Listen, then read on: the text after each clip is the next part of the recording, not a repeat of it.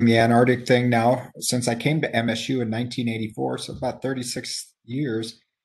And there's an old saying that uh, you go down the first time for the adventure, and then you continue to go down because you don't fit into society anymore. Uh, Sydney asked me uh, a few minutes ago uh, if I missed Antarctica. Incident, I should be in Antarctica heading down now because of COVID our Antarctic field season was canceled. Uh, we have to go through New Zealand, and it gets very complicated. They're very strict with their quarantine, and it um, so the National Science Foundation basically canceled our season.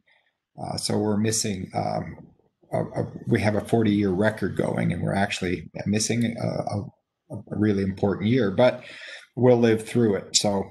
Uh, again, thanks for for whoever's on here. I can't see and It's too bad I can't be in person. I've given a number of honors lectures I gave one last year and I, I really had fun. And a number of students came up and said I took to their parents to Antarctica with me a long time ago before they were born. So I must be getting old. But today, what I want to do is talk about this the hidden world beneath the Antarctic ice sheet.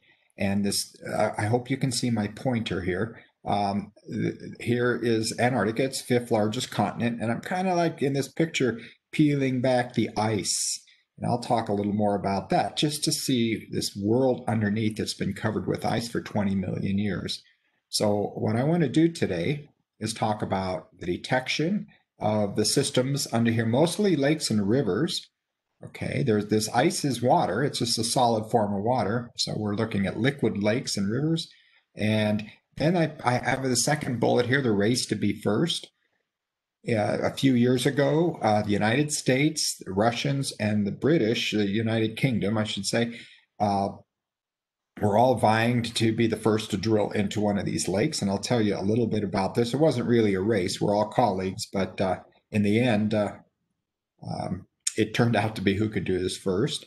And then logistics, as you can imagine, getting to the bottom of the planet and, and drilling through thousands of meters of ice is, is not easy. And then finally, discovery. And that's really what uh, it's all about as a scientist is uh, making new discoveries. So uh, what I want to do, maybe, let's see if I can do this. There we go. My lab uh, studies sort of geomicrobiology, the cryosphere, and it's a very interdisciplinary uh, type of lab. So I have I have glaciologists, geologists, geochemists. I have climate people, a lot of my students are. Somebody's got what right here. What's that? Oh. Anyway, ecology. So we do uh, we combine all these into the field of geomicrobiology here in the center.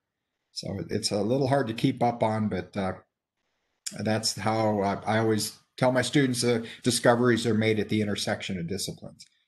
Okay, so let's get into this a little bit about Antarctica, some facts. It's the fifth largest continent down here we always see maps here of this Antarctica as being this big white thing, and it, it, it's what it looks like from space. Uh, it's the highest continent. All right, the South Pole is over 10,000 feet. It's the coldest. Uh, the coldest temperature ever measured is minus 89 centigrade. I believe that's about plus, I'm sorry, about minus 114 Fahrenheit, and that's without wind. That's cold. That was over here in East Antarctica. It's been ice covered in certain areas for 20 million years. That's a long time. So what's underneath is not seeing the light of day for uh, a long time, a lot of time for evolution. There's a lot of ice. Okay, there's 27 million cubic kilometers of ice. It's a little over 6 million uh, cubic miles. And 70% of the planet's fresh water is tied up in that ice sheet. 90% of our ice is in that ice sheet. So if it melted, and flowed out into the ocean, this is what we would see if we took a tour of the Statue of Liberty. Be about almost neck deep in water. There'd be a 60 meter uh, sea level rise, and I'll talk about a little uh, that a little more uh, sea level rise, but not a lot.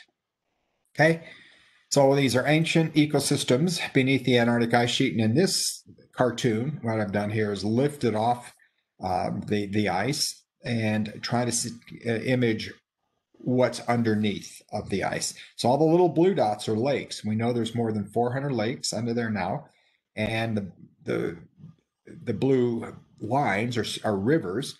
And some of these rivers are quite large, or river systems. This area here, I'm going to show you this a lot more later.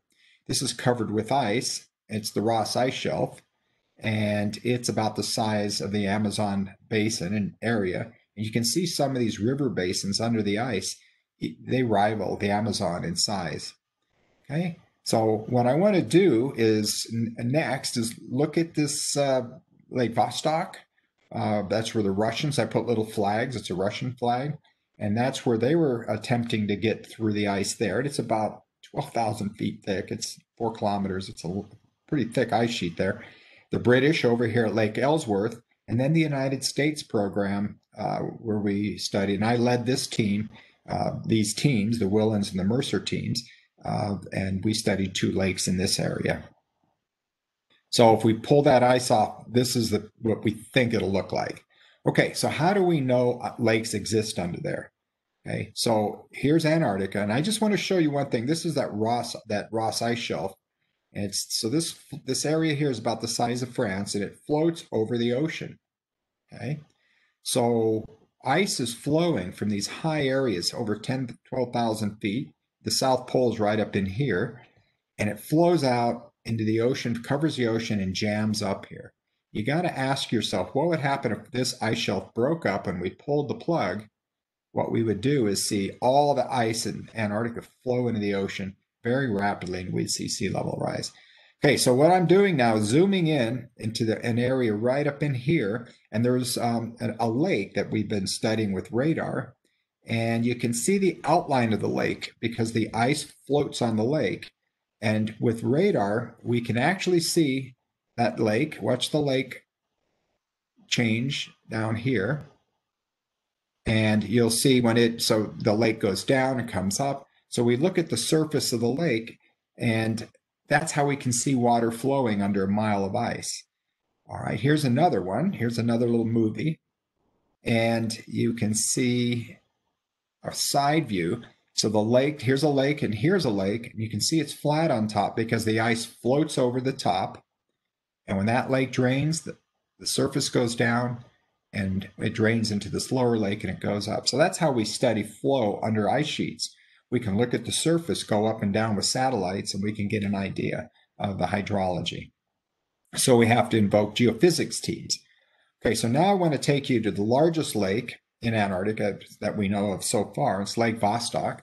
This is a Russian station. Vostok was the name of the spacecraft that put the first cosmonaut into space, Yuri Gagarin from the Russians, and they named this lake after him. So if you look right over here, here's the Ross Ice Shelf again, floating over the ocean. And Lake Vostok is over here covered with about 12,000 feet of ice. And this is going to be a movie. This is a Canadian Space Agency made this. And they're going to, you're going to be, take a, like fly right down the lake. The lake's about 160 miles long. It's a big lake. And uh, we should be able to see what's going on. So the, the, Canadians are pretty cool. They put music to things. So even this is, uh, but if you look over here, you're going to see the outline of the lake because the ice floats over the top of the lake as it moves over. You can see the outline here. Okay. We're going to fly down this 150 plus mile lake. And there's right there is Vostok Station, little white dot, and that's the Russian base. The white line going in, you can see it here in this kind of drawn out picture, is where they drive their tractors in for supplies. So this is a huge lake, uh, one of the largest on our planet. And, and here's the, I put together a little table of Great Lakes of the world. And Baikal in Russia is definitely, if you've ever been there, it's a beautiful lake. Um, one of the, the largest. It's quite deep. It's got a lot of water in it. You could put all the Great Lakes in it. Vostok is number six in terms of volume and number three in terms of depth. And it's under about uh, four, about two miles of ice, and it hasn't seen the light of day for maybe 20 million years. Okay, it's cold there. It's a hard place to work, and the Russians have been, been working there since the late 50s. Here's a picture I took out of their logbook in 1983, and if you know Russian, this is the 28th of July. And that temperature right there is the coldest day ever recorded on Earth, minus 89.2 degrees um, centigrade. It wasn't exactly warm that whole week, okay, minus 60 to minus 80 in here. So cold place, tough, and plus it's over 10,000 feet. So you can get altitude sickness. Very difficult. Here's a little cartoon I put together of Lake Vostok. Okay, this is a, a lake we've been trying to get to for a long time. So I'm going to cover uh, the, the Russian exploration. So you'll see a little Russian flag here. And the ice is flowing over the lake, going out to the ocean. Here's their borehole, and they drilled through and actually popped into the lake. I'll, I'll show you some pictures of that uh, a few years ago. But it's really important to look at some of the dynamics of this lake. Okay, so they cored through here and produced a 420,000 year climate record. That's four glaciations on Earth. And the data from that core was the first data set to show that temperature and CO2 change together because from this core they can get gases. That's one thing ice cores give you that tree rings and sediment cores from the ocean do not tell you.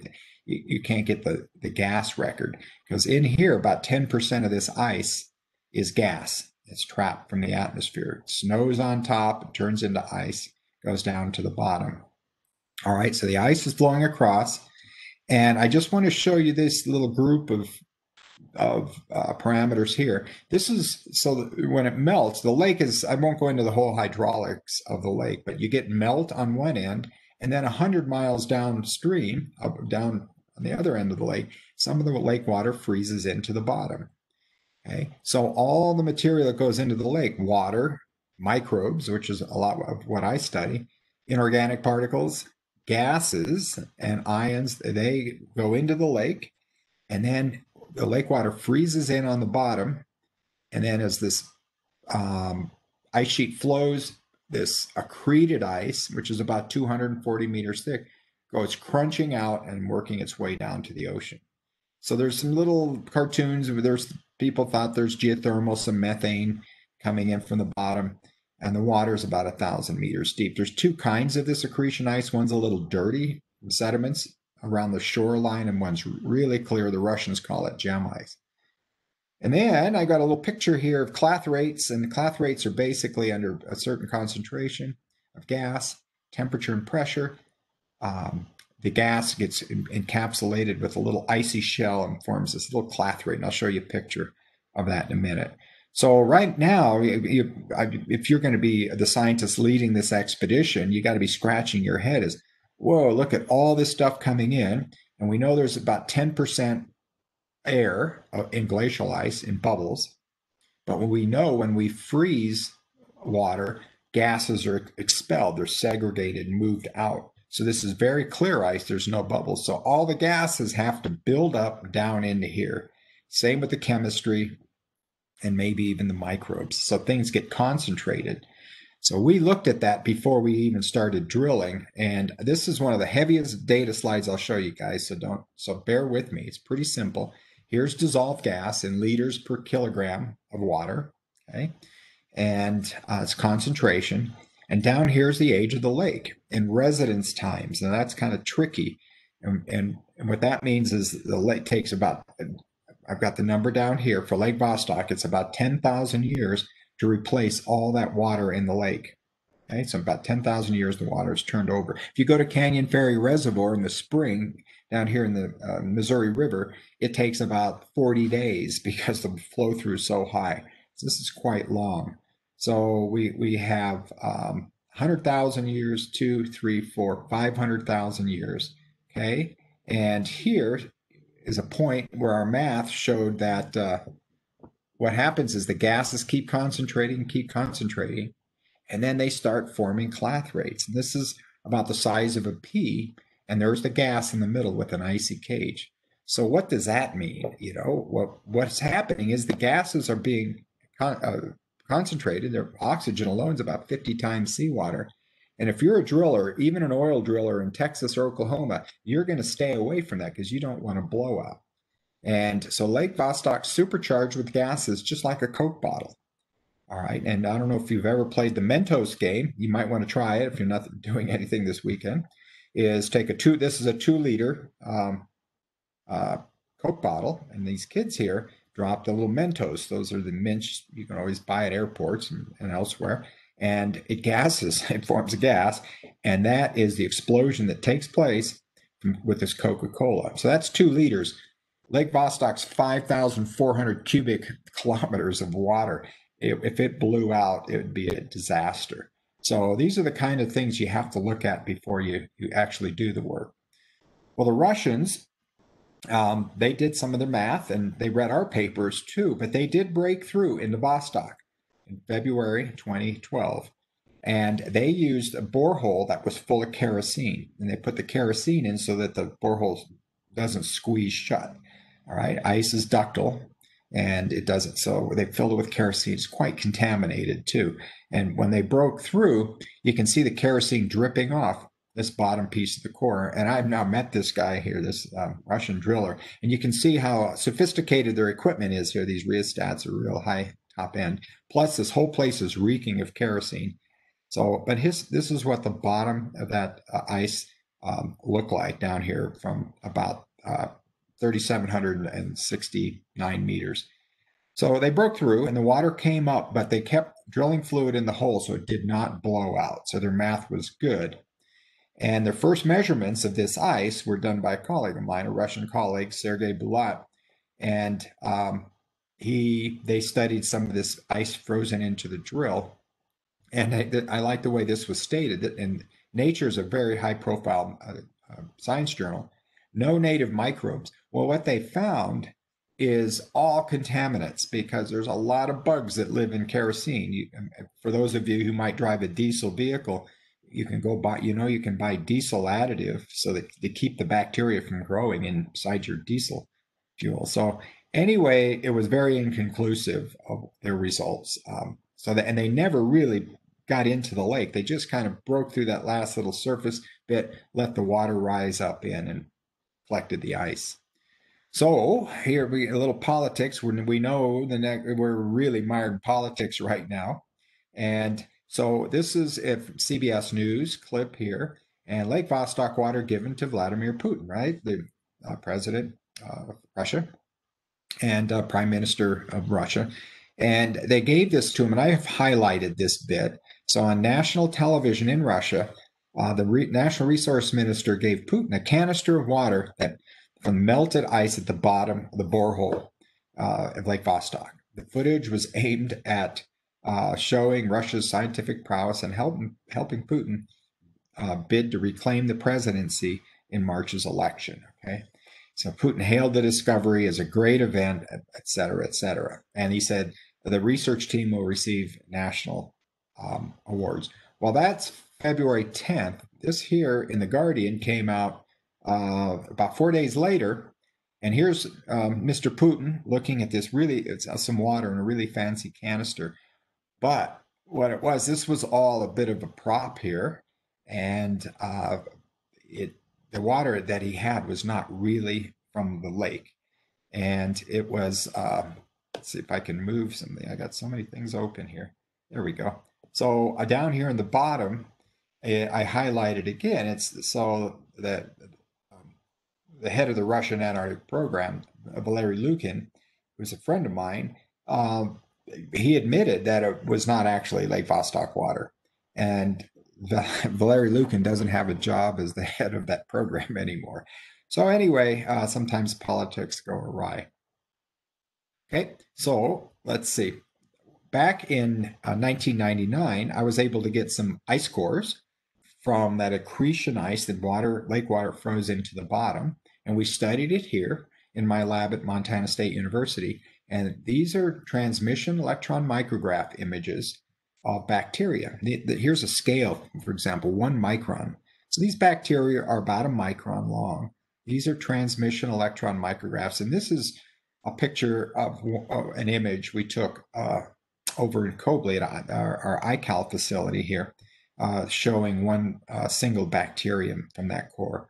And we were able to estimate a cell density of about 10,000 per mil. And that was published in a very high profile journal, science journal over here. So that's the first evidence of life under the ice sheet. But we never really got into the lake. We were studying the ice above the lake. At the same time, we were also able to concentrate uh, viral particles.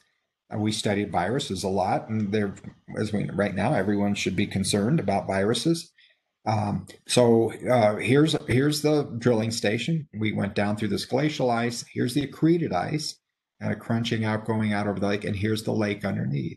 So from various depths, you can see these viral particles here. This is what a viruses look like. They're a lot smaller than those uh, um, micron-sized bacteria. These are all nanometer size. And if you look at some of these, uh, we we did not get enough material to examine their DNA to identify these but it, this is a, a, coronavirus of some kind, and you can see the receptors around the outside. And uh, then we have, when we get into the lake, this one came from uh, the accretion ice, which is frozen lake water. We got this really wire, wild uh, virus with this, uh, like a lollipop or a balloon, a big head and a very long tail. We haven't a clue what these viral particles are.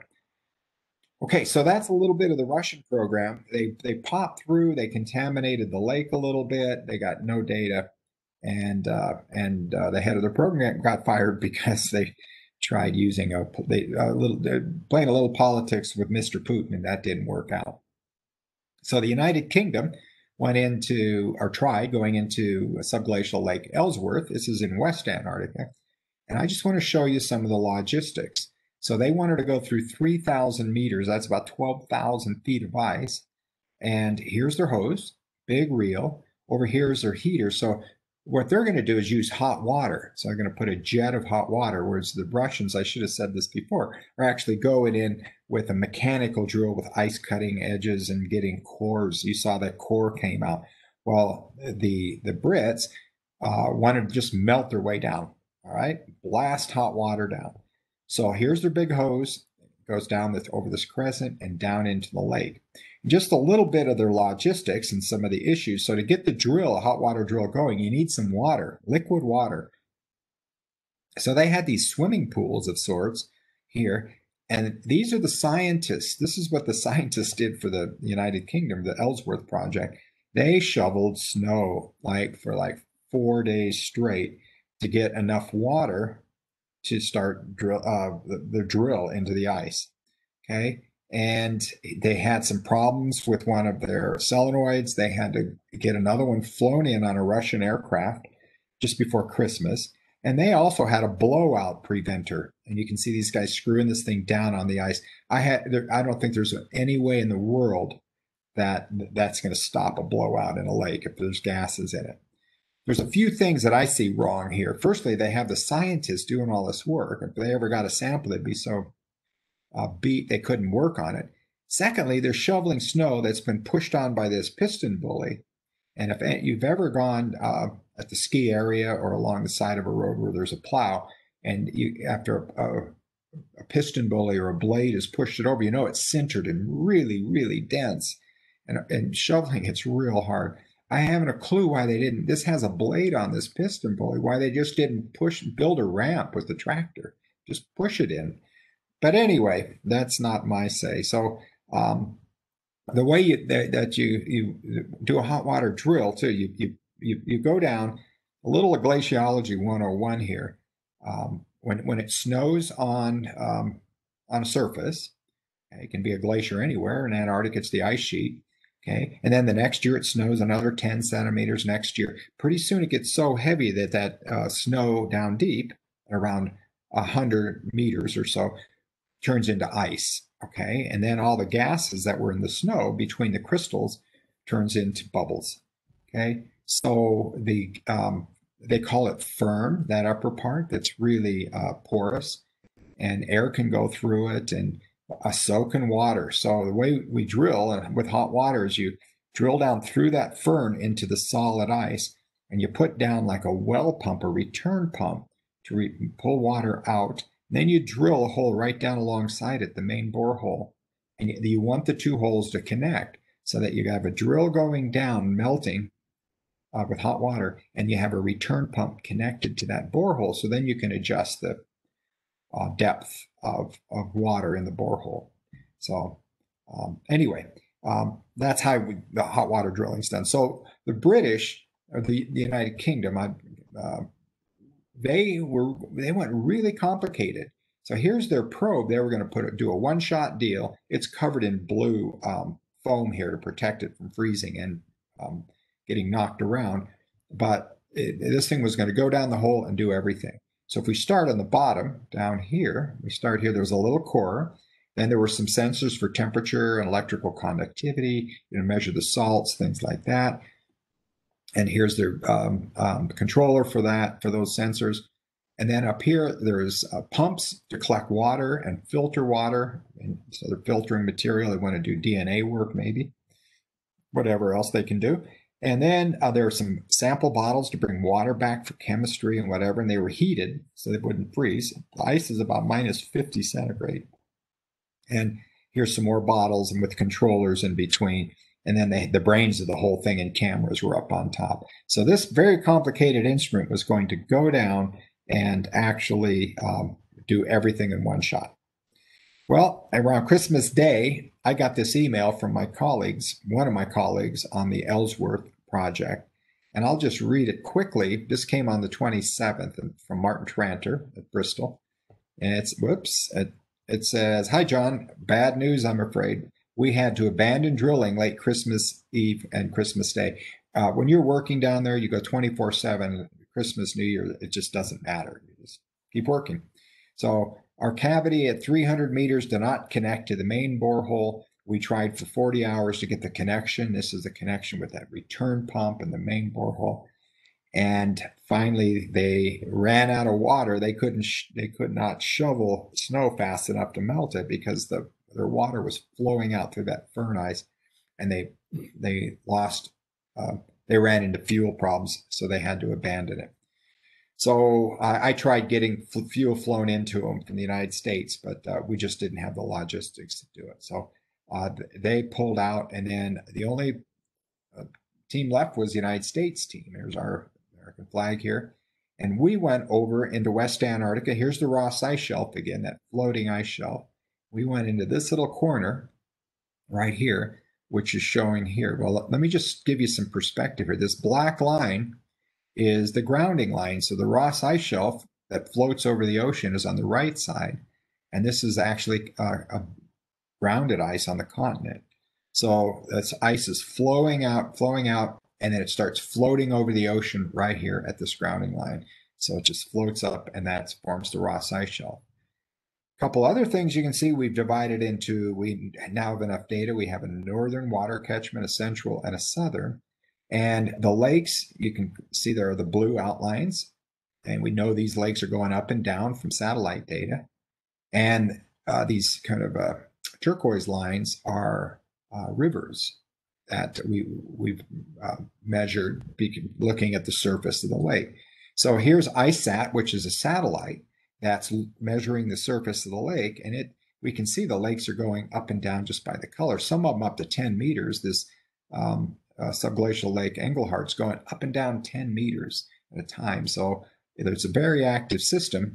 And the red dots are GPS systems. These aren't your little backpacking GPSs. These are very, very sophisticated GPS units that are, that are measuring millimeter um, in three dimensions, changes in three dimensions. Okay, I just want to show you. So here's your ICESat. Okay, that's a satellite measuring. This satellite is so sensitive that if you were flying at 35,000 feet in a commercial airliner with this satellite's altimeter, you could turn a page in a phone book and see the thickness change. That's how sensitive it is. Okay, um, GPS stations are red, etc. Over here are some data, and I'm just going to show you uh, this lake here, the subglacial Lake Mercer, which is this one here. We drilled it just a few years ago, and you can see that uh, the relative elevation is going up and down like six meters. So it drains, it fills, it drains, it fills, it drains, it fills, it drains, roughly on a 10 year scale. Remember, Vostok was, was more like 10,000 years. So these are very active lakes. So um, when we wanted to, we wrote the proposal out of MSU, uh, very expensive, about $15 million proposal. And we, we bought a lot of equipment but we, we wanted to test it before taking it down Antarctica. So we went to Lake Tahoe, not a bad place to test it. And we uh, rented a barge and put a crane on it and did all these tests, made sure everything worked. These projects, incidentally, WISSARD is a, they all have great names, uh, acronyms. Uh, Whillans, um, uh, Ice Stream, Subglacial Antarctic Research Drilling, and SALSA Scientific Antarctic Lake Scientific, uh, Subglacial Antarctic Lake Scientific Access, and you can go to their websites, and there's all kinds of cool movies and things. But we did a lot of testing. In our drill, we had this, uh, quite a sophisticated cleaning system because the internet, you can't work in Antarctica and, and, trash Antarctica. There's an international treaty. A scientific committee on Antarctic research has a code of conduct that we wanted to follow. We don't want to contaminate Antarctica. We don't want to contaminate our samples. So this is over in um, Ryon Lab, if you've ever been over between Ryon and Cobleigh in their fluids lab. But we we had this system built. Here's a here's a two micron filter, this big silver thing. Water comes through it through a 0.2 micron. So this will take most bacteria out. And it comes through, and we can't see it very well, but behind uh, these people here, there's one filled system here and one behind uh, uh, at roughly chest high. Those are really intense UV lamps that just cook proteins and DNA. So that the water we put down that borehole is cleaner than the actual um, water in the lake and the glacial ice. So we tested that here, published a paper on it, and uh, that's the team. We were here about two weeks doing these experiments. We also follow stringent environmental stewardships and sample integrity uh, rules. And this is how we do a lot of our sampling. All right. We, we start out like this, but I'll tell you what, and I think we're all going to find this in a couple months here. When the temperature gets about minus, uh, 10 or below freezing, uh, masks really are hard. they freeze to your face. And, you know, instead of your glasses fogging up, the ice forms. So good luck. Uh, work through it. It's not easy. And our, we did a lot of tests with our PPE. And over in, um, uh, we did this over in Cobleigh. And they showed that on average, humans exfoliate. That means just stuff coming off your skin and hair, about 50,000 bacteria each day on average. And if you don't bathe for a while you run around, it's even worse. So we are uh, we were wearing masks a long time ago and full protective gear. It's not easy when it's sub-zero, I can tell you. Okay, now we got to get this drill and everything down there. All right, I'm talking logistic nightmares now. So what we did, we had about a million pounds of gear. We took we put it on a ship to New Zealand, a vessel across the ocean, and then we flew 21 of these uh, flights of the C-17 Air Force flights uh, between um, New Zealand and McMurdo stations, about a five and a half hour flight. So it's like going from San Francisco to New York 21 times. And that's um, that's how we got the stuff down there. And this is uh, every seat has a view in a C-17. This is taken from my seat. This is one of our WISSARD uh, Whillans, uh, Lake Whillans cargo vessels and that's a nice place to rest your feet. You just hope that these chains hold everything. So the people are all sitting down the sides, and that's our flight down for five and a half hours. Okay, so then now we have a million pounds of stuff uh, in McMurdo Station, which is a big U.S. hub research station. Now we have to get it out in the deep field. So we bought 12 tractors, and you can see these are not little tractors; they're pretty good size, and they have cranes. A lot of them have cranes to and then we have, you can't see this one over here as a, a blade, so we can push snow around when needed. All right. And we carried 1.2 million pounds from McMurdo Station, where that ice runway was, all the way out here in West Antarctica and to this drill site. All these little dots are where the, the uh, traverse, the tractor traverse teams stopped and spent the night. Okay. And here's just a picture taken from, here's a lab actually and you can see all the tractors just pulling this out. It took 14 days, and we carried 35,000 gallons of uh, diesel fuel, AN8, which doesn't, it's jet fuel basically, for aircraft and to run the drill. So you can see this is already, but it took 10 years to get to this stage. Okay, so this is before that tractor traverse arrived. That little dot right there is, uh, this is Lake Mercer. And it is uh, before the traverse arrived. Here's that dot again. And you can see the tractors came in here. They scratched out an area for our field camp. They scratched out an area for aircraft to land. And then they built a bunch of berms to put all the equipment up on top and let it overwinter so that wouldn't drift in. And uh, it took them a month to do that. And then they went back to McMurdo. The scientists, we didn't uh, drive tr- the tractors in. That's like a five mile an hour drive. I, you know, I'm not sure. Uh, I, I, think I'd go brain dead from that, but uh, one day maybe, but not two weeks. So we flew in and uh, these um, um, uh, military aircraft, and the first flight that we came, went in on got stuck. You can see this front ski. It's a big airplane. This the front ski got stuck, so the crew had to get out and shovel it. And the pilot's right here, and he's kind of reversing the prop and trying to get the airplane to rock, just like a car when you get stuck. And they uh, finally got it unstuck, but they couldn't take off. The snow was too deep. So they put on these rockets on the side, jet assist, and off they went. But they didn't have enough gas to make it back to McMurdo Station, so they had to stop at the South Pole and fuel. It's all in a day's work, right? Other aircraft we flew in were these uh, old DC. This is a 1946 DC-3 with turbines. You can see it's on skis. It's coming in to get fuel here, and uh, we flew in these quite a bit. The problem with those is they're not pressurized, and the pilots are like 25 year old Canadian guys who uh, just sit there where they put their feet up on the window and let it autopilot fly it but they fly at 12 and a half thousand feet, just under it, so that they don't have to use oxygen. FAA rules over 12 and a half thousand feet, you have to use oxygen. So this is what it looked like in the back with no oxygen. Everybody was going kind of uh, hypoxic, and you can see people are just passed. Yeah. So this is another part of the rigors. Now I have to do this because, uh, but these are three of my PhD students, and I I showed them this picture, and they all said, "Oh, we're resting, so when we get to the field camp, we're ready to go." But anyway, it's uh, it's tough. I know when you just go down, take your uh, tie a shoelace, it's pretty uh, uh tough. No uh, toilets or anything. It's really cold in there, and no uh, pressurized cabin. Um, we actually had them fly lower after this because a lot of our bottles were popping the tops out and stuff. And uh, so here's what it looks like taking your approach when you come in. This is a field camp for the Whillans project, the WISSARD project. It's really a small city. We had 52 people for about a month and a half.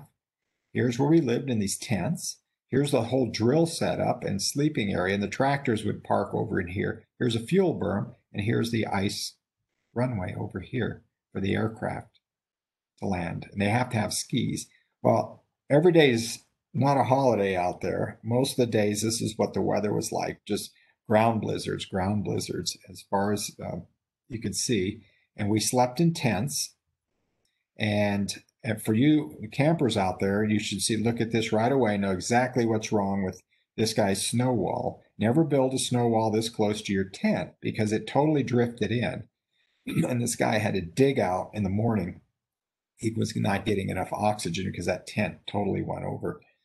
But um, next time you read something about Scott or Shackleton walking across the uh, Antarctic ice sheet, it, it, they really, that was amazing what they did. It's not level and the weather stinks. Okay, so here's a nice uh, uh, view. This is also a photograph out of the airplane on a calm day. Here's our tents. Okay, a couple outhouses. You can see tractors moving gear. This one has a blade and it keeps uh, the snow drifts down. We have a mess tent, cargo lines, uh, we we do have a freezer, okay, because we need to keep our samples at a set temperature, and uh, that's what the freezer's for. And here's the whole operation for drilling. We have uh, two big generators down here, a control module for electric. This is our filtration and UV module for cleaning the water. Three big heating systems. We could run a car wash in Antarctica if we wanted, if there were cars. And then uh, elect- a mechanical tent and here, so the water over here is a little tractor filling our hot water tank, right? Melting the snow, like we saw the British doing, the, the United Kingdom guys. And we fill a tank here, and it's our priming water. It goes in here, gets uh, filtered and UV treated. It goes then into these heaters, got, gets heated up to 95 centigrade, just under boiling. Then it gets pumped into this reel house and goes right down the hose and down and drills okay? And it drills um, about a quarter meter a minute. That's pretty fast and makes a hole about a half a meter in diameter. So it's a, there's a lot of heat going in. And here's our labs over here. Okay, so the samples come up from here go right into the labs. Okay. All right, now I want to show you a couple videos. Uh, some of this will be uh, redundant, but I, but this is a nice video. Here's our lead driller. He's uh, a, a lot of the British had a real sophisticated engineer. This guy's a farmer from Nebraska that can fix anything. Dennis Duling, and he's never complains. He fixes anything, work, works day and night. And that's the kind of person you want. He's holding the drill in his hand, the nozzle of the drill, uh, before it went down in. And here's a, a, one of my students and myself actually collecting a water sample. So let's look at this video. And um, Sydney or somebody, if you can't hear the sound, please let me know.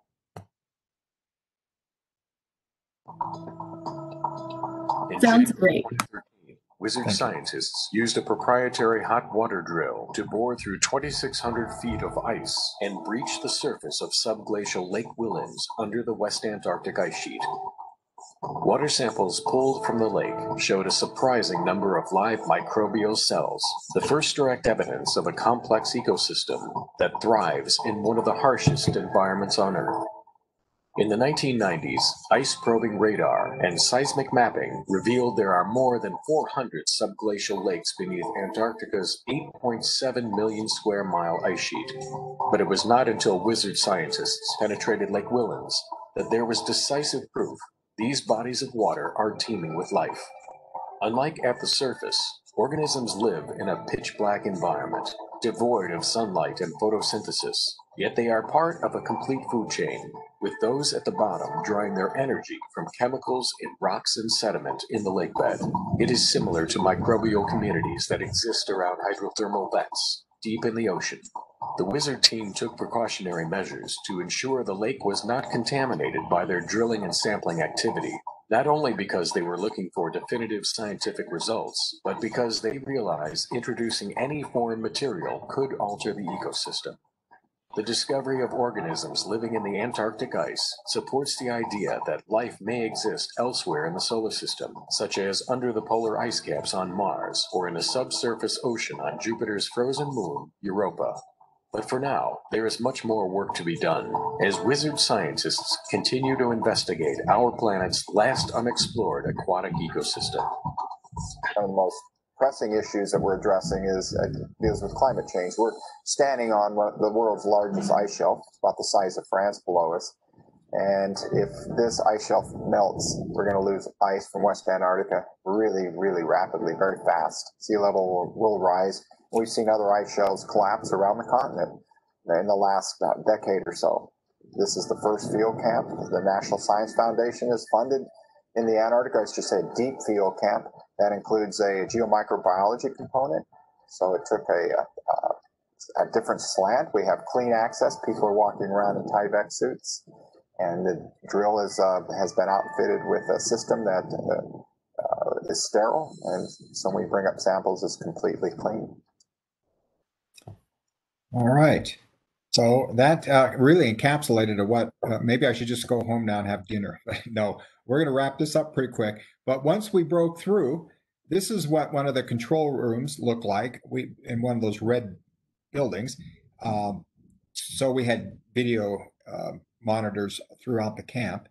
And this guy right here was one of my PhD students. He was the one who was sleeping or passed out in the airplane. And he's very happy because he was able to get his samples and uh, got his PhD. Now he's a research scientist uh, on the East Coast. So this is really the moment you live for as a scientist, and he'll never forget that as a graduate student. And here's what we saw uh, from the Whillans. We saw a lot of bacteria, and you can see all these little guys here. All these images were taken here at MSU, and um, we were able to uh, get an idea and publish it in a, a magazine, um, journal Nature, which is one of the highest profile journals uh, on the planet. So uh, it was great, a, a, great moment. Also, the media followed us very closely, and uh, New York Times on January 14th had a headline: uh, "Deep Under Antarctica, Looking for Signs of Life." And in that short period between January 14th and February 6th, down here, uh, we transformed the way the Antarctic continent was, was viewed. We finally found life in the coal underneath, And I remember making the phone call from McMurdo Station to Jim Gorman and telling him we saw the life, we know it's alive, and uh, we had two different uh, uh, methods of showing that it was uh, the organisms were viable, and that's when we released the, the information. So that was very exciting, and it made uh, number twelve, which isn't too bad, I guess, uh, in Discover magazine for that year. Um, a search for life trapped under ice. So that was uh, that was pretty cool. But besides that publicity, what really is a scientist um, it hits home close, and this is why we really do it. At least I do. Uh, we received about a million hits that week on our website, and we had uh, a portal where you could you could send in to a, a contact on our website here. Okay, we received this message from uh, a, a, person I, I've never heard of. I don't know him, and I've never followed up with him. Someday, maybe. But uh, um, uh, my administrative assistant forwarded this one particular message to me. I extend my congratulations for your recently announced discovery of microbial life beneath the Antarctic ice covering Lake Whillans. Many Americans are rabid to eliminate government funding for all but the most basic civic functions. I think WISSARD is a shining example of why this approach is so wrongheaded and the amazing things that can be accomplished when government supports fundamental scientific research. I'm one U.S. citizen who is extremely proud that my taxes have gone to fund, and even a small part, this groundbreaking project. So that's pretty cool. You know, this is a lot of, I told you it's a multi million dollar project, and uh, we have taxpayers that uh, can get behind this and shine a little light in their life. Also, we have a lot of sci-fi writers out there, and I this is just one of them. This is Daniel uh, Kalla, and this uh, guy here wrote. Uh, he also had a, a, bestseller called Pandemic, very uh, um, appropriate name for the times. But this book here called Cold Plague, uh, and it says over here. I don't know if you can read it. Michael Crichton. You, you, be careful of someone's looking, you know, coming down over your shoulder, and because this book here is a thriller, and by uh, Kalla. And basically, this is a little clip I took from the New York Times review so pristine water, untouched from the. So he's these guys are reading our our work, uh, at least the uh, the lay articles we published. So pristine water untouched for millions of years and possessing natural healing powers is discovered miles under Antarctic ice. Okay, we did that. The scientists who claim the water stand to win a worldwide acclaim and make billions. Well, we didn't do that. but yet, as people line up for a taste of the therapeutic water, New cases of mad cow disease uh, explode in rural France. Then Dr. Noah Haldane and of, of, the World Health Organization moved in uh, to save the world and sound the alarm. Okay, so this is this book. I, I, have it on my shelf back here. I've never read it, uh, but mad cow disease was real, and uh, it's um, they call it, it's BSA, bovine spongiform and encephalopathy, and that really to shut down the British uh, cattle industry for three years. It got it picked up in, in, in the United States, and it was around for uh, about a decade, and it was really bad way. It was a neuro disorder uh, caused by a, a, a, prion, which is a protein that mutated. So anyway, so the, the press had a heyday with what we were doing as well. And I would get a free copy of the book, and, they would say, keep up the good work. Um, you, are fodder for our work, something like that. So anyway, so the last thing, and I'm going to wrap this up. Let's go to a Mercer subglacial lake, which we sampled just a few years ago. Um, wrote another proposal out of MSU, had a lot of MSU graduates involved. And here's the, the shape of the lake, again, using um, this a digital elevation map, um, showing the deep part here and shallower parts here. Okay. And this lake goes up and down with water flow up to 20 meters. Okay. So the ice thickness is 1,092 meters. It's a lot of ice. Uh, water depth's only 15 meters. The volume in, in the lake uh, is a, about 2.4 cubic kilometers. And the surface area is about uh, two times the size of Manhattan Island. So it's not a Lake Vostok by any means, but it's a, a, a viable hydraulically active lake. And here's a little cutaway of what it looks like. So here's our borehole. I put a little schematic down and we broke into the lake down here, this 15 meter deep lake. Um, and as we drill, the borehole's full of water because we're melting ice as we go.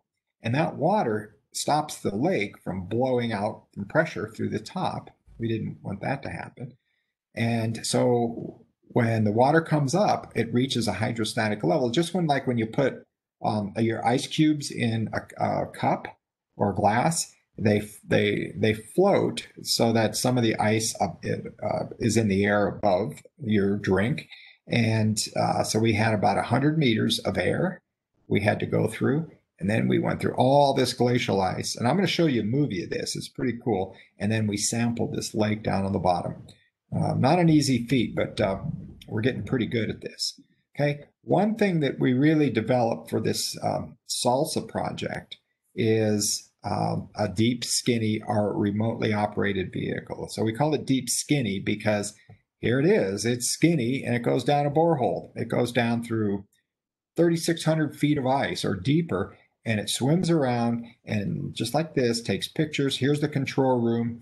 Here's the two operators and scientists in the back, and they're watching all the stats come out and watching the videos. It's quite an operation for being way out in the middle of Antarctica, West Antarctica. Okay, here it is going down again uh, uh, into the borehole. So inside the um, control room, you can see the bottom of the ice sheet. I'm going to show you a movie of this in a minute.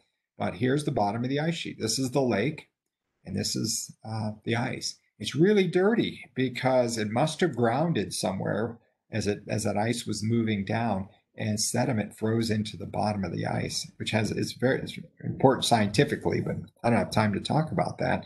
Uh, you see us squirting stuff all over. It's not water. We're squirting hydrogen peroxide on everything, just like the disinfectant we see around uh, MSU and all the labs that so uh, 3% hydrogen peroxide really kills uh, bacteria et cetera. And also eats a lot of holes in your clothes too. So the Tyvek has another uh, purpose. And even though we have a lot of sophisticated uh, equipment, like all these cameras, we put these little whiskers on the bottom of our um, deep skinny so that we could, with a camera above it, so we could make sure the borehole was was wide enough. We wanted it to be almost a half a meter so that we could put our tools up and down the borehole. So we did this very crude mechanical way of uh, measuring the borehole. And we also had laser altimetry, but in, all, in, the end, we used these visuals. So here's putting the system down in the borehole.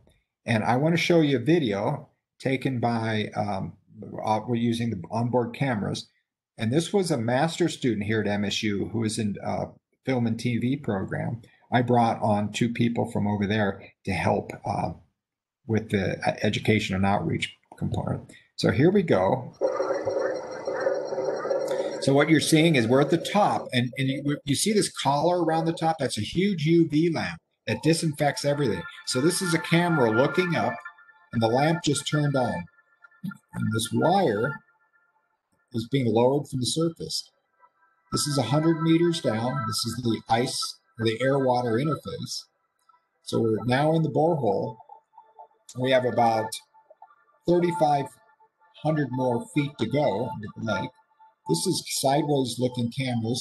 This is ice, the sediment particles in it. There's the bottom of the ice sheet, which is just amazing. No one ever thought we'd ever have pictures of the bottom of the ice sheet. And there's the bottom of the lake.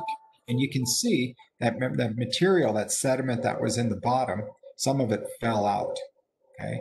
And here's the footage. Uh, Kathy Kasic was a prof here over in film and TV. Billy was a master's student. So that worked out really well for everybody. And we now have videos going around. And if you go to that Salsa website, uh, that's a that's a Twitter. But if you go to Salsa Antarctica, do make sure you put Antarctica after Salsa. You're going to get a lot of weird stuff that we don't do. Okay, and uh, and you'll see the full length videos on there, and they're pretty cool. So, um, and that was Billy's master's degree. Okay, so uh, we did get water samples up. This is a bottle of the lake water from under 3,600 feet of ice. This is how we collected with these um, oceanographic water samplers. This is me bringing one of the samples into the, a, a lab. Here's all of our happy campers, our scientists waiting for the water to come in and uh, then they pipette it and they do DNA. Here's a, Uh, we're looking right away at bacteria using uh, DNA stains. We do it all right out in the lab. So it's a big team, a lot of effort, no sleep, three days without sleep on this one. And you can see, we unfortunately the face mask didn't work because it was so cold outside that we uh, um, didn't have any luck. So here's what it looks like. Here's bacteria.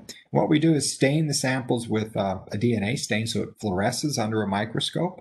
And all this uh, yellow, if this is a SYBR Gold stain, it's kind of yellow gold stain, are bacteria.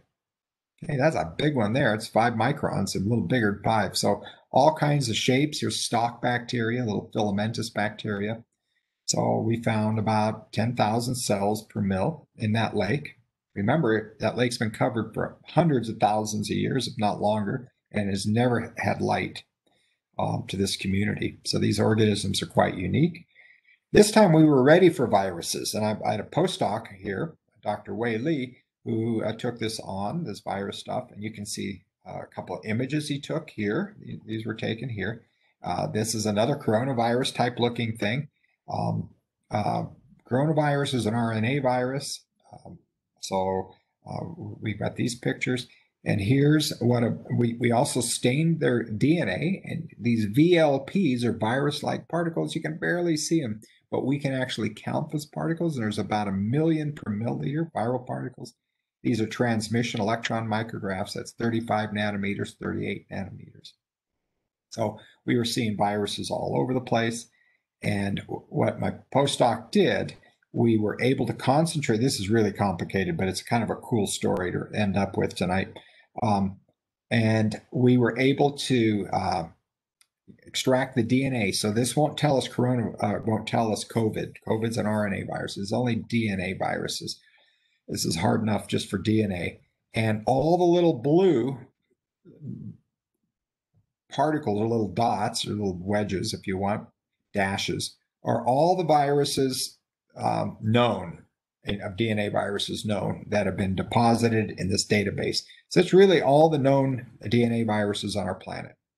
And what we did then is took our the DNA that we extracted, and we extracted these from Lake Mercer, Lake Whillans, and then another lake in the Transantarctic Mountains, Lake Bonney. And we compared it to the known viruses on our planet and you can see some of them are close to these known viruses, this one here. So these are DNA sequence comparisons. Some of them are close to this group here, okay? Uh, some over in here. But really what stands out is we, can, we have a, a, a completely unique viriome. So this is a virus that's not in our, our global database, DNA virus. We don't know what it is, uh, but we're still working on it. Here's another distinct group and another distinct group. So going into these ancient envir- environments where um, we're, we're, uncovering some unknown viruses, we worry about that a little bit. And so I went to the CDC early on in the game and told them we are going to be doing these samplings, and uh, they didn't uh, seem to mind. So we did it. We have the DNA here, and uh, we've done the analysis. So this this is pretty interesting. Uh, what we're doing now, most of these viruses are phage. These viruses attack bacteria. And uh, being microbiologists, that's kind of, we're not medical people. Um, so we're trying to see what bacteria they infect. Uh, really, really important. So higher life, well, we found some big guys. Here's a tardigrade, a little water bear. We found this crustacean, but we only saw one of each. And I put these a lot of question marks because I don't believe it, but we have them. We have pictures, and uh, if there's higher life forms, that's going to be pretty cool. That could mean these are organisms that fish eat, although we didn't see any fish. But uh, okay, so I'm going to wrap this up. So why is this important? What we do? Um, we, um, we here's the grams of bacterial carbon in Antarctica, these subglacial environments. It's up here around 10 to the 15th. It it blows away all the fresh waters on our planet. It's not as important or high as the ocean or soils, but there's more bacterial carbon associated with these subglacial environments than there, are, there is carbon in the human population. So they contain a globally relevant yet virtually ignored pool of microorganisms. All right, so I'm going to wrap this up. And when we look at this, our, our planet again, we see green and blue, right? We, we, you know, it's a green planet, a blue planet. But when we look at Antarctica again, and I've written this now in book chapters, I'd like to see this um, um, a little greener because it's not just this big benign block of ice. It's actually a, a living, uh, there's a living ecosystem under there. So what's next?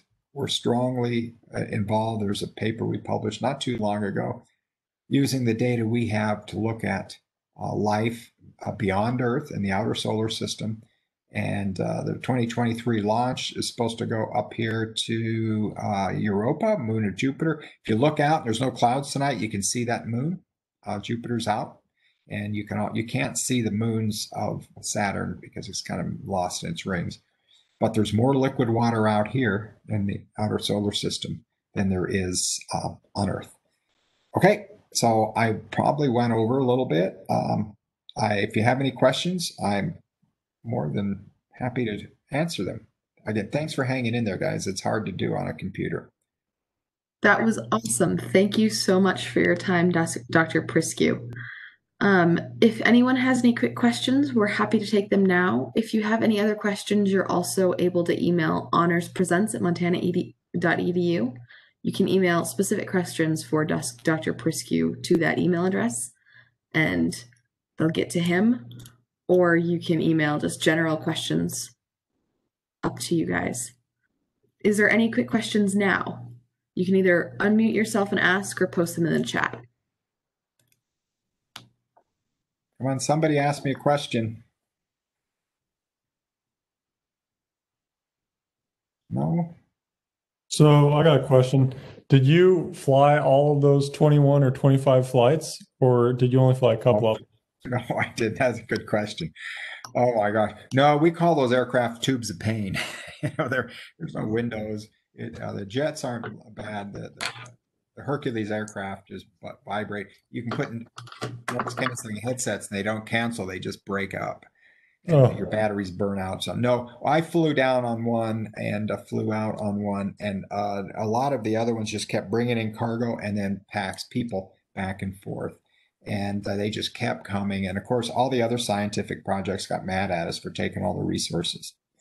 Oh, so oh, yeah. um, I did not fly them all, but um, the Department of uh, Defense um, has a contract with the National Science Foundation to support uh, research down there, and uh, they're Who's pretty cool. all the caterpillars? Pardon me. Who did you have drive all the tractors? Yeah, down? so the tractors uh, were the uh, the, um, the, support contractor, which uh, the support contractors turn over about every five to ten years. Uh, the current one is uh, Lockheed Martin or Leidos, they call it. It was a subset, but it's basically Lockheed. Uh, before that, it was Raytheon. So these are big contractors. Uh, I think Raytheon used to run Cape uh, um, Kennedy. Uh, so it's they hire, and if you want to go to Antarctic Support Contractors (ASC), you can. if you know how to drive a tractor and you want to do it, you can see if you can get a job. Unfortunately, this year there's no they're going nowhere. It's like the, the season's pretty much on hold. So, but um, they do hire a lot of uh, contractors to do all kinds of stuff. Um, I did get a chat question. How was it like working with the Russians? Great question. Really interesting. I uh, I've been to Russia uh, many times. I was supposed to be there in October next month, giving a lecture, very similar to what I've given you here at a, uh, a Russian conference. Um, you know, uh, but I, I was I started working with the Russians when it was still Soviet Union. I was over there in the early '90s, and it was quite interesting then. Uh, very Eastern. I didn't hadn't seen many Westerners, and uh, um, but they're great, great, great people. Really warm people. Um, the politics are really, really interesting. Uh, I remember in Moscow back then, uh, they all of a sudden in August there was no hot water and the water came out brown out of the tap anyway. And I asked, why is there hot water? And they said, they, they don't ask. It's just, it's communism. And you just, um, um, it's just what happens. Uh, they're great people to work with. Uh, they're, they work, they're really hard, gracious people. Um, the politics are a little messy, as you saw with Putin when they tried getting him reelected by showing their scientific prowess. And then he fired the guy who said, no, I'm sorry, it's, it really wasn't Vostok water. Okay, I have another chat question. If that uh, uh, I'll read it. I don't know. Can you see the chat question? Or um, go ahead and read it. Okay. Uh, Why do you know that the samples were from the actual lake water? Oh, good question. And not melted ice within the glaciers from drilling. Obvious. Uh, man, that's you should be a driller and a scientist. Um, we, we went to great extremes, and I just finished a manuscript I wrote that's in review in the Annals of Glaciology, showing how we did all that. And first thing that came up, you saw in that one picture with me with that big gray tube, that's a sampler that goes down in, into the lake to a selected depth. We have a, a metered cable going down in, uh, over 3,000 feet, and we bring it up and we look at the we look at the salt content. We just measure electrical conductivity, and we know uh, what it is in the borehole, which is really really low, no ions. The lake's quite high. And one of the first instruments we put down is a temperature conductivity probe and you can see down the borehole. It's really, really, really fresh, and I would say fairly warm. It's like minus uh, 0.5 centigrade.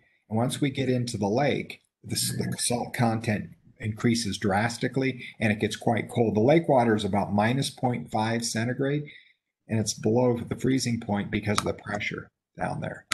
Okay, if you put a lot of pressure, just like an ice skater, if you're watching hockey, you know the go Golden Knights. Right? I'm I'm from Vegas. I'm all for the Knights. Anyway, uh, you, that's how you ice skate, right? You put that pressure on a, your blade, and uh, it, forms it melts the ice. So um, that's how we do it. That's a great question, and that's the first thing we measure. And we went around and around on one of our first samples. Somebody did not believe that it was a lake water sample, and I told them I, I was out on deck collecting it, and uh, we it was a lake water sample. So uh, yeah, everything's good. And oh, I should also say, um, it, within our drilling system, um, and I should have pointed this out when I showed you the picture of the tests in the lab.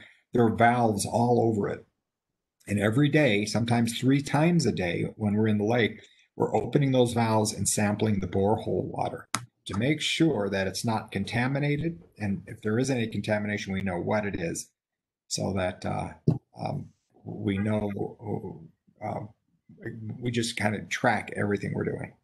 Okay. I love the Knights. Me too. Yeah. I also happen to be a figure skater as well. Great. Thank you for answering my question. Yeah. Good. Yep. So I think the Knights are going to take it, but they sure should have yet last year. But anyway, it's another story. Anybody else? I think we have two more questions. How long what is it the take? plan going forward? Okay, Um, are there still plans to explore the lakes lakes that have already been bored? great and question. How long does it take to drop the sample Yeah. collector machines from the Okay. surface of the lake? Okay, oh, okay. Let me roll scroll up. The questions are coming. I didn't see the scrolling part. Okay, let me. uh, How long does it take? takes about two hours and a half to get down, and about two hours and a half to get back up. So if you went into Vostok, it would take um, um, it would take you a, a full 24 hours to collect one sample because it's so it's it's two miles thick so so deep so it takes us about um, half a day to get a sample up that means starting at the surface spraying it all down with our peroxide putting it through that uv collar dropping it down through and then uh, and, and then going into the lake and, and you know measuring or monitoring the feed out on the line. So it takes a while, and you sit on the surface, and there's some great videos on our website where somebody's looking at the metering device saying, "Oh, only another thousand feet to go." you know, like okay. So we drink a lot of coffee because we have to sit out there in the cold and the wind. So that's how long it takes. Um, uh, what is the plan going forward? That's a great, great question. Um, so right now, um, let me talk about my plans and uh, maybe others. I I think a lot of people aren't as crazy as I am to do this and, you know, write these crazy proposals and trying to get people together from all over the world to work on them. And uh, it takes, it's a lot of effort. Uh, the Salsa project is still going. We're making a full length NOVA special right now on the project. And if, if you do go to salsa.org Antarctica, you'll see videos up there that are pretty cool um, and a lot of images. So um, I've become really involved now with uh, NASA, and I was uh, the Mars launch that went up uh, about three weeks ago. I was involved with the coring device on that to bring samples back. And uh, I'm also involved with a, uh, a human mission to Mars and uh, to put a um, an orbiter and a lander on Europa right over here. Okay. So uh, that launch is supposed to go in about two or three years if the budget holds. These are $14 billion launches, so they're not they're not cheap. It takes a long time to go out there. And we've also I've been to think tank meetings at Caltech and JPL uh, to try and figure out how to get through the ice on here. The ice that uh, on Europa is 10 kilometers thick. So it's it's two to three times, four times thicker than anything we have in Antarctica. And uh, what I would like to see if I if I wrote another grant, I'm 68, so I'm not sure. I, it's probably time to turn it over to the next generation. But I would like to see us go to Vostok, and uh, if we can't sample Vostok cleanly, we should not be going out here to Europa.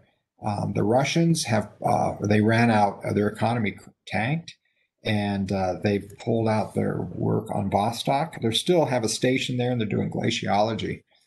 I think we need to go there and uh, and do it uh, cleanly, and start to get away from their station where it is. It's all contaminated, um, and and go and try to get.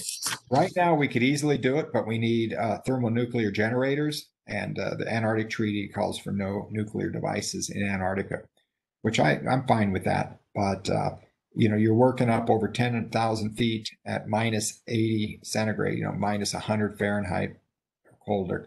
And it's really, really tough. And the fuel doesn't have a lot of BTUs in it at that altitude. So um, that's where we go next. Right now, we're still working up our SALSA data. We hope to get the virus work published and uh, a lot of other things. Their papers are coming out uh, as we speak and uh, I, and then I'd say in another year, uh, I've been putting it on our uh, biweekly science uh, Zoom meetings, our agendas. That what's next, guys, and so um, I don't think I'll be the chief scientist. I've done it twice now, and it's a it's it's beyond full time work. So, but I always have some good stories to tell students, and they, they love it, and I get a lot of grad students that want to do this job. So it's yeah, it's very rewarding. I'm anyway. That's awesome. I think at this point we're gonna have to cut questions off there. Thank you so much, Dr. Priscu. That was Okay. a wonderful presentation. We All can't right, wait to Yeah, have you good back luck, you guys. future. Stay healthy, okay? And have a great semester. Bye. Bye. Make sure you copy the link in the chat to receive credit. Just click on it. You want me to do the, can I get credit for this? you cannot get credit, unfortunately. Oh. Unless you want to go and take Honors 201, Texts and Critics. I think I was too busy playing uh, hockey and soccer when I was a kid to do honors, but uh, that's not saying anything wrong. But whatever. Keep working, you guys. Talk to you later. Bye. Thank you.